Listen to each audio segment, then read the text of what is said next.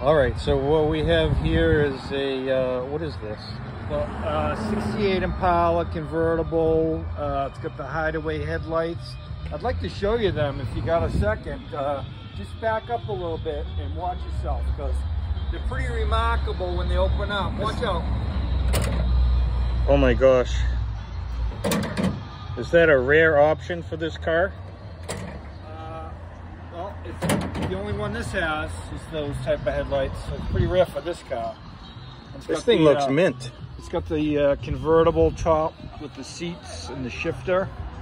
Um, little boot there, so in case you go on a parade, and you can put your junk in the trunk. So, Where did you find a vehicle of this magnificence?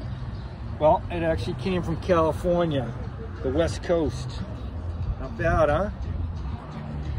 It's wicked.